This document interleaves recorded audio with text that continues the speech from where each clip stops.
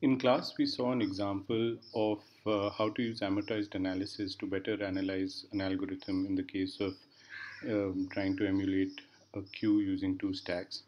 Today, we will see an example of how to use amortized analysis to differentiate between two um, different algorithms for the same problem. The example that we will look at is that of growable stacks.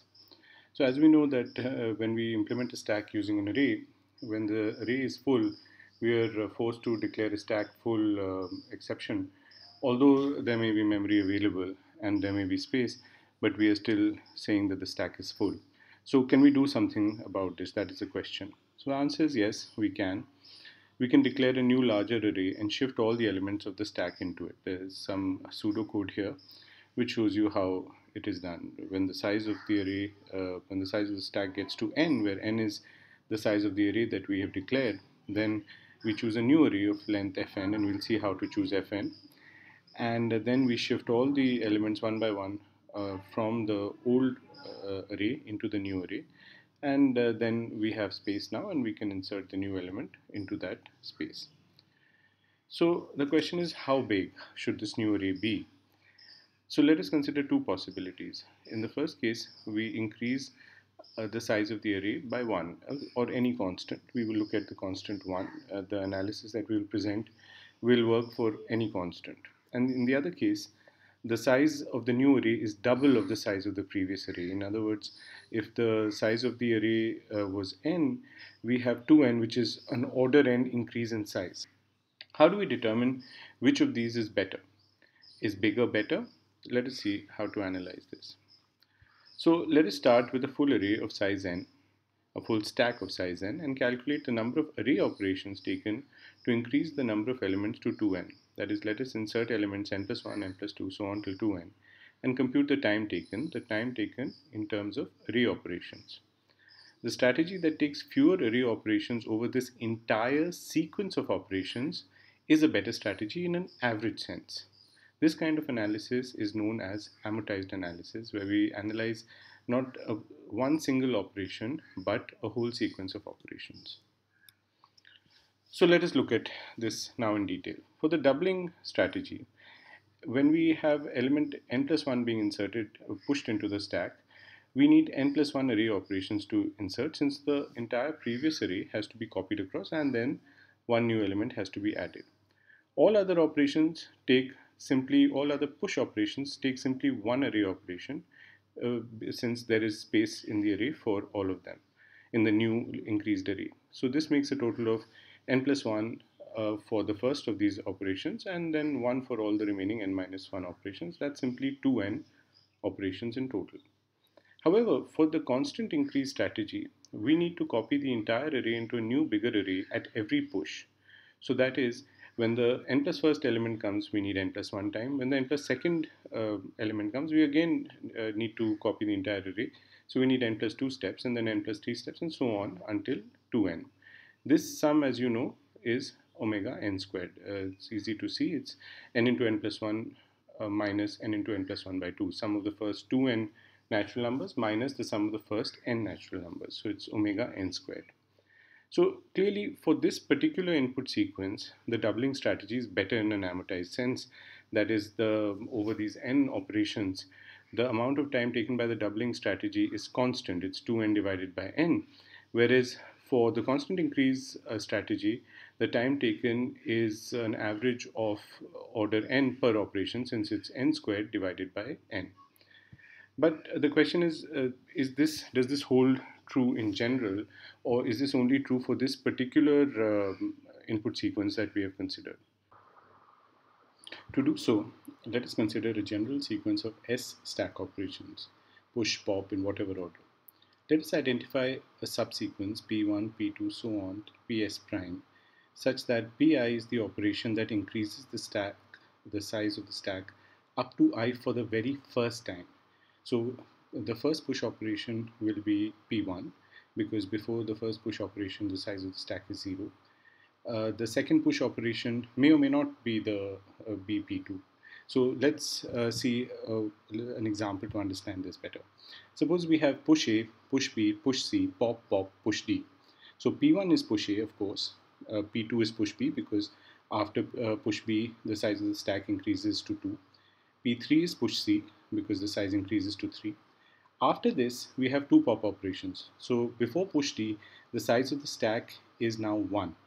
So after we push D, the size of the stack goes up to uh, 2 but we do not consider push D in our sequence since the size of the stack has already risen to 2 at some point earlier, although it may have fallen below 2 since that time. So in this subsequence, we are going to consider only those operations which increase the uh, size of the stack because our uh, stack size increasing operation, which is either doubling or increased by constant, can only take place when a new uh, si stack size is achieved. So we will analyze these two strategies only on the array operations taken by this subsequence of push operations. Note that the other stack operations require the same number of array operations in both our growth strategies because in any other uh, stack operation, the size of the stack uh, is not growing for the first time. So uh, if you consider push D in the example above, the size of the stack has already gone up to 3. So we know that when C was pushed uh, successfully, after that point, the size of the stack was at least 3. So when we push D in the second position, that space is available to us already. So now, let us look at the two strategies. If our initial array size is n, then the time taken by constant increase as before is n plus 1 plus n plus 2 and so on up till s prime. This is omega s prime squared minus n squared, approximately n squared. Um, if s prime is very large with respect to n, this is just omega s uh, prime squared. And as we know that in general, um, the number of operations will be much larger than the initial size of the stack. So in general, we can say that this is omega s prime squared. In another, another way of thinking about it is that we know that s prime will be at least n. If we are considering a case where the stack has had to un undergo increase, then at least n uh, uh, operations will have uh, have to happen, and at least n times the size of the stack will have to increase. In general, it will increase much more. So that's why omega s squared is the correct um, way of putting this number of uh, this function which describes the number of array operations. Now let us look at the doubling strategy. We need a little more um, uh, fine-grained analysis here. So let us take uh, t, define t to be a floor of log s prime n.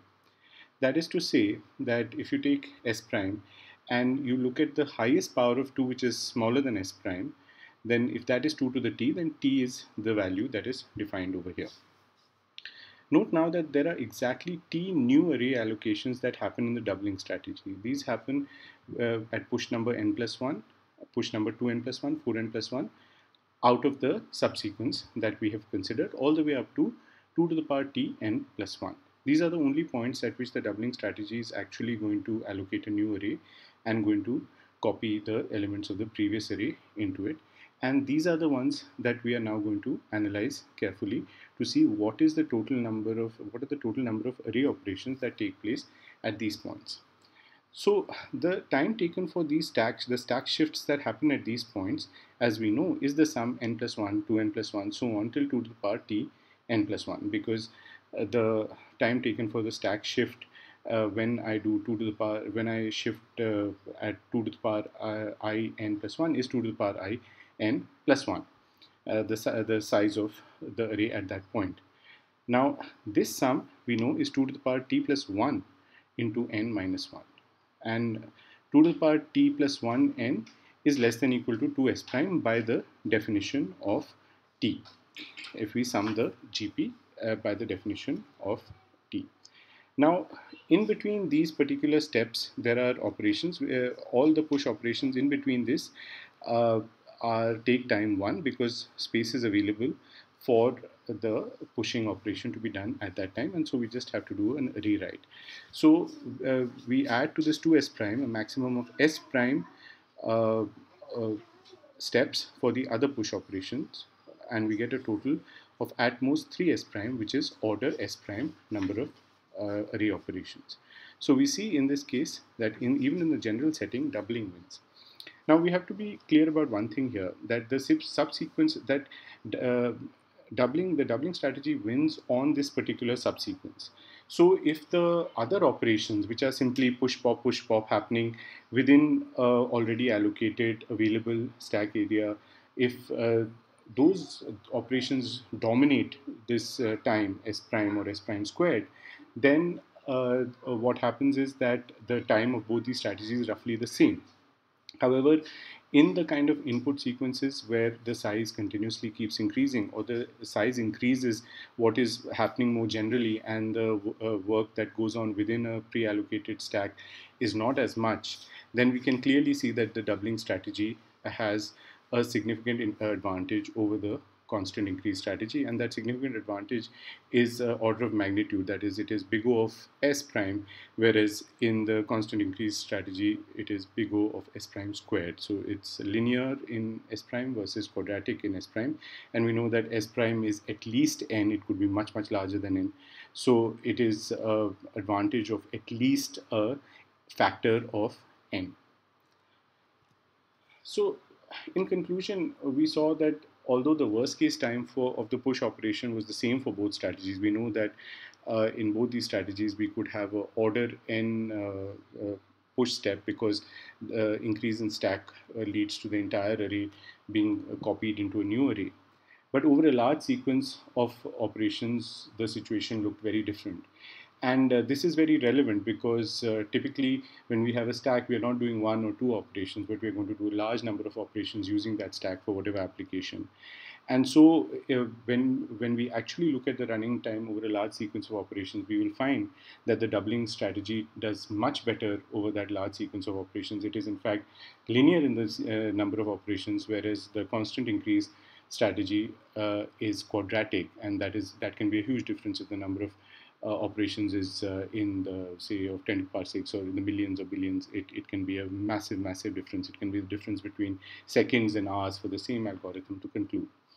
So we see that amortized analysis provides a way of differentiating between algorithms that can't be differentiated between using simply worst case analysis. There may be a big difference in performance but worst case analysis or the analysis of individual operations will not throw up uh, that difference However, amortized analysis, taking large sequences of uh, actions into account, of operations into account, can take care of this uh, difference and can highlight it and bring it out and help us make the correct decision on which algorithm is better.